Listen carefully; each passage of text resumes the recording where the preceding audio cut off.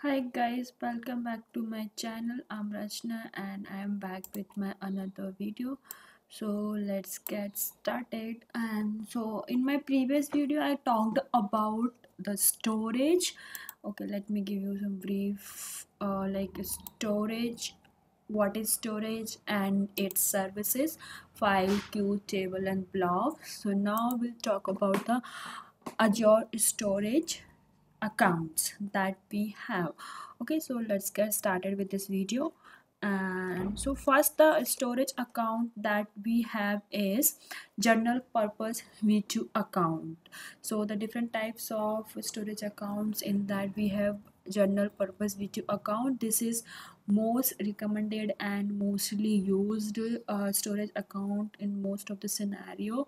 It is general purpose v2 account which provide the services like blob blob files queue and table services.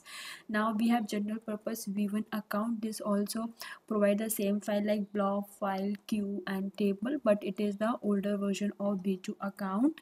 Now onwards like more like if any of the update comes from the microsoft it will come to the v2 account. So it is recommended to use the v2 account now not the v1 account. Next we have the block blob storage account. This is especially when you want to premium performance for the storing block or the append block. In that scenario we have to use this one. Then we have file storage account.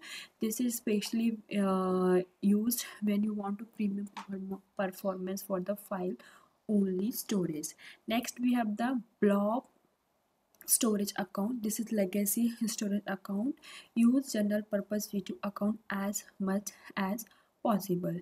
Next we have more on azure blob storage. So like blob storage is like a kind of um, object storage and it is store the different kinds of object. Also it is used to store the unstructured data on the cloud. And it is highly recommended when you want to store image documents video and audio files. And when you store like when you create the blob storage you need to create the container which will contain your blob object and blob storage.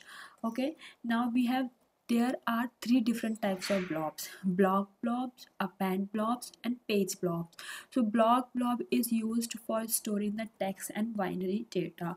Like we have one integration where we wanted to store the text and the binary data. We use the block blob storage. And we get the one thing like a storage account explorer that i'll talk you about in my upcoming video.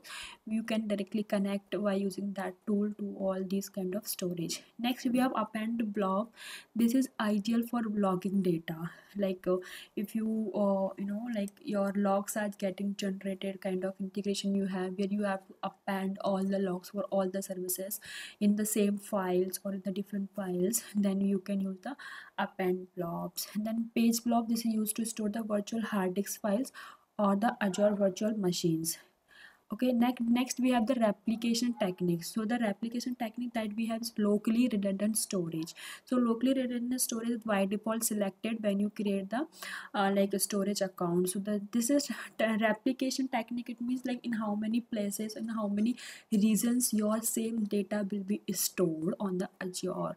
Okay so the first is locally redundant storage is by default selected and here data is replicated synchronously three times within a physical location in the primary region then we have the zone redundant storage zone, zone redundant storage is basically your data is replicated synchronously across three azure availability zone in the primary region. So if one of the goes down then you can actually will still have access to your uh, data from the other region. Okay?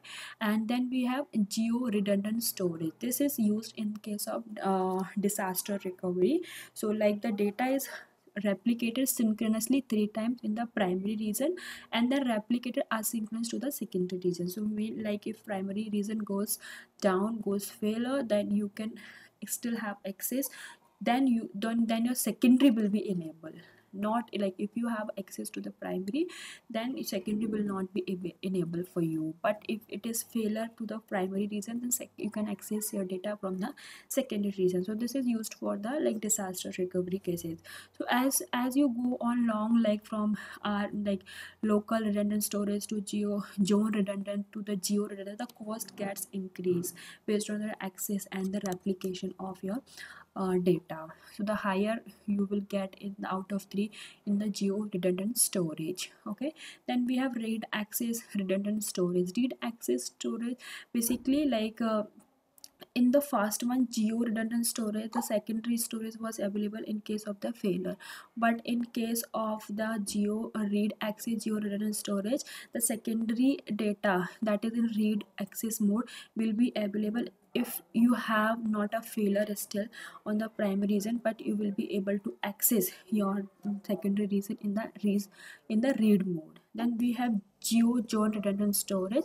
Like the two types are also there based on the replication and the storage of the count. And then we have this reference that i took it from the microsoft document. Like uh, we have storage account type supported services supported performance and supported. So like in the general v2 account we have these services are provided and these are the uh, supported tiers and then we have supported access tier and these are the replication uh, technique.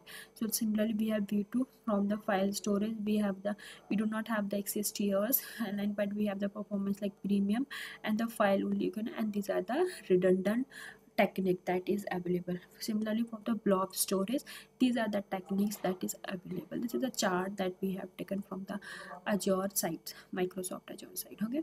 Next we have the azure blob storage access tier. So hot and cool we have two tiers. When you create the azure storage blob storage account you need to select the hot or cool.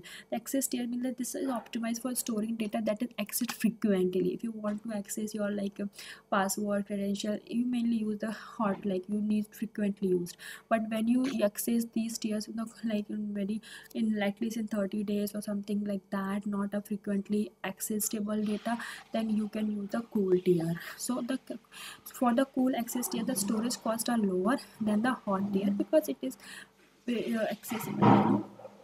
The cost is lower in that case but the access costs are higher than the hot access tier because you are accessing at least after 30 days something like that then we have archive tier this is optimized for storing data that is really accessed and stored for at least 180 days. So this can be set only at the blob level.